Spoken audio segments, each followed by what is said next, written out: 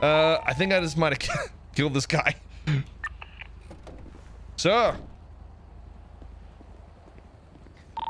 S sir, did you not have your seatbelt on? Yeah.